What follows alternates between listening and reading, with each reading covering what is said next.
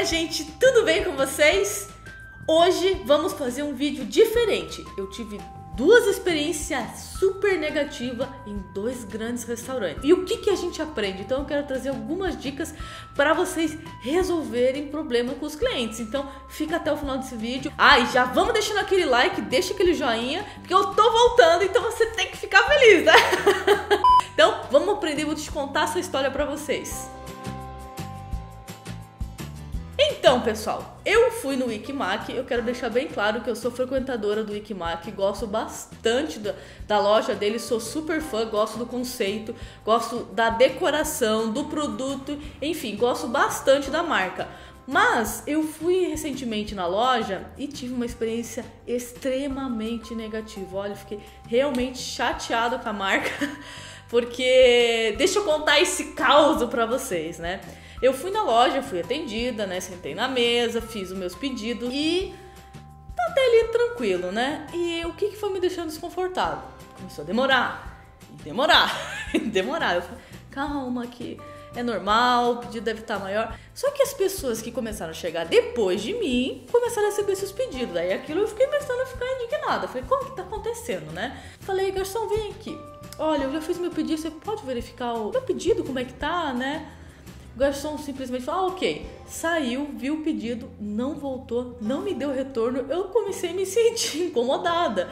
Falei: nossa, ele, nem o garçom chegou e falou: olha desculpa, a cozinha tá atrasada, mas teu pedido tá saindo. E eu comecei a ficar ali. Meu marido falou, vamos embora, não quero mais. Eu falei, não, eu quero ir até o final para ver o que, que, vai acontecer. E vem nada, e nada, e nada, de repente o garçom trouxe meu pedido. Então a gente já vê o primeiro erro, que o garçom foi solicitado e ele nem sequer veio e justificou. Chegou o meu pedido, para minha surpresa, meu pedido veio assim, horrível. Todo o material que envolve lá o, o bol, o, o copo, uh, onde vem as travessas, todas estavam trincadas. Mas era horrível. Tava trincado de ponta a ponta e tava uns pedaços faltando da louça, né? E ali eu já comecei a ficar indignada, né? Falei, além de atrasar, trouxeram um pedido assim. É, qualidade conta também não só o produto final, mas como você apresenta ele, né? E aí eu acabei comendo meu, o, a porção que eu tinha pedido e cheguei na, na para fazer o pagamento, né? Super indignada. Reclamei pra gerente, falei: olha, é o seguinte, meu pedido demorou demais e o material que vocês me serviram tudo quebrado. Ela sequer olhou para mim, pegou, tirou a conta, já largou assim, tó, tua responsabilidade. Ela só falou assim: ah, eu já pedi, eu já pedi pra trocar, eu não posso fazer nada. Então, a gente já começa a observar que ali ela já não teve uma preocupação com a minha má experiência. Ela simplesmente colocou a comanda para eu pagar.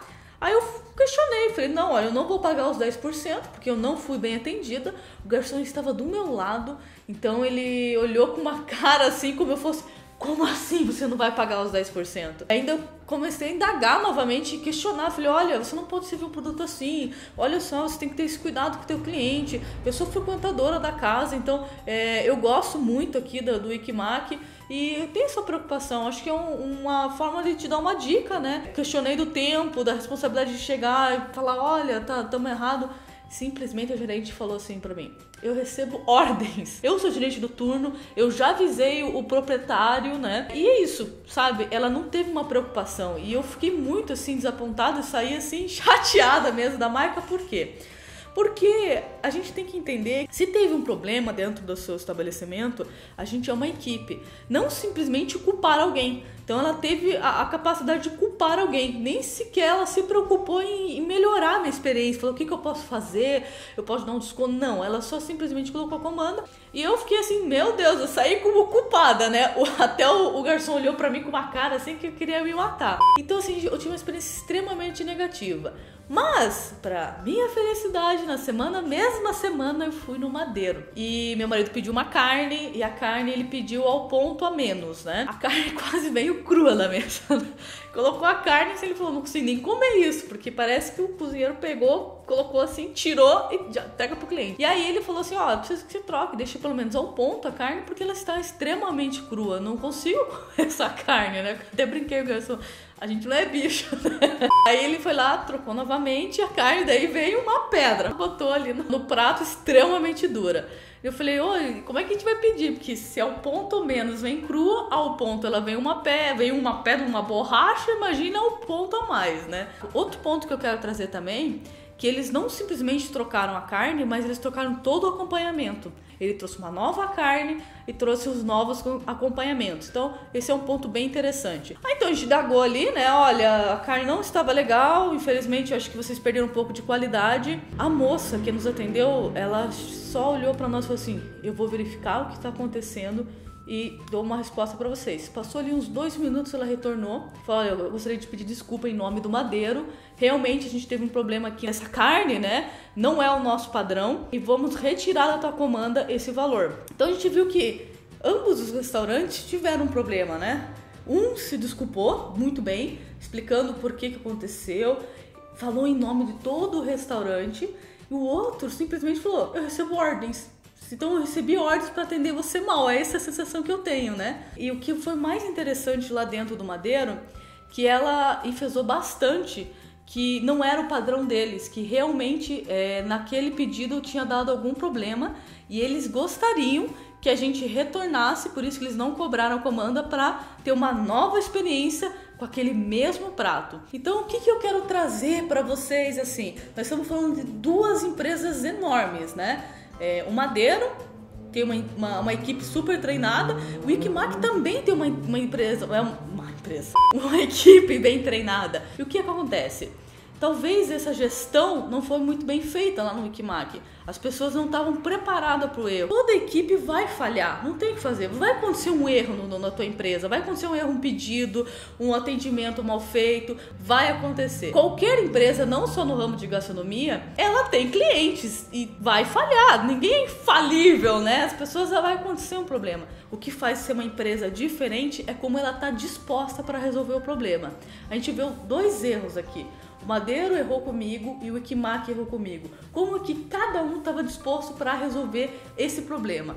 O Ikimak não estava disposto e o Madeiro não. O Madeiro se preocupou, retirou o valor da minha comanda, se preocupou o que estava errado, o que, que eu estava insatisfeita. Para quê? Para a gente que, que a gente pode melhorar lá? Provavelmente eles tiveram essa discussão, falaram, o que, que a gente pode melhorar? O que aconteceu? O padrão da carne? O que veio errado? O que, que aconteceu? Então, para não acontecer em outros clientes, eu quero trazer aqui para vocês algumas dicas que é importante. A primeira de todas não discuta com o teu cliente, tenta entender o que, que aconteceu com a experiência dele. O lanche foi errado, a massa veio o ponto errado, demorou, o que, que o cliente está satisfeito. Eu vou fazer um vídeo especificamente, então já fica ligado, se inscreve no canal. Mas o que eu quero trazer hoje para vocês, quando que acontece esse erro, o que, que a gente precisa fazer, né? Além de você entender o que o cliente quer, você tem que pensar como que eu posso resolver isso com ele. Entendendo esse problema, como que eu posso melhorar essa, essa situação? Eu vou tirar da comanda dele? Não, não posso tirar porque a minha margem é apertada. Eu posso dar uma sobremesa para ele? Eu posso dar um voucher para ele voltar? O que, que eu posso resolver? Como você pode resolver isso se acontecer? vai acontecer, tá? Já vou te avisando, então já esteja preparado. O segundo ponto que é bastante importante é não culpar os outros. O cliente não quer saber, ele quer entender o que ele foi tá insatisfeito, né? Então não culpe os outros. Você é uma equipe. Então você fala assim, vou verificar com a minha equipe, vou verificar com a equipe da cozinha, o que que eu posso fazer. Não culpe ninguém. Isso acontece, né? É uma forma das pessoas se sentirem ter uma saída. Ah, recebo ordens, recebo ordens. Mas não, gente, é uma equipe. Seja você com a sua esposa, você com o seu marido, seja uma equipe pequena, uma equipe enorme no teu restaurante, né? De qualquer forma, você é uma equipe. E a equipe faz o teu estabelecimento.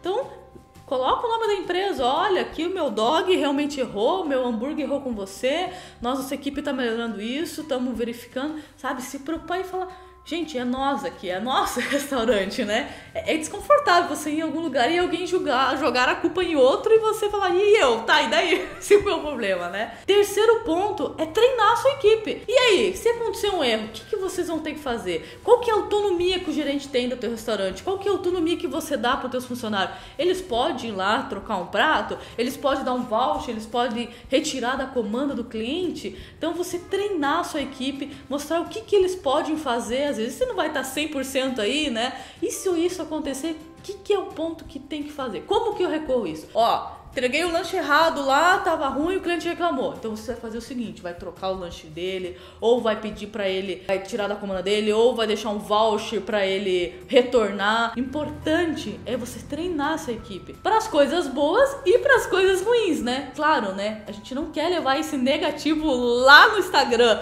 lá no Facebook, lá no Google, que isso acaba dando pontos negativos para tua empresa. Muitas pessoas se baseiam nisso. Então, o importante é você chegar, atender bem seu cliente. Se tá problema, vai acontecer. Como que eu resolvo isso? Como a gente viu essas duas diferenças. Qual que é o cliente, qual que é a empresa aí que me, que me fidelizou? Qual que você acha que eu vou querer voltar? Então, é esse o que eu quero trazer pro vídeo para vocês. Se preparem para as coisas ruins que vem na sua empresa. Vai acontecer que faz sempre a diferença é como você resolve os problemas. Então, fica a dica, não esquece de se inscrever, porque eu preciso muito que você me siga, vai ter muita coisa lá no Instagram, eu tô postando várias coisas, eu vou deixar aqui na descrição. Ó, beijo, até a próxima e eu tô te esperando, hein?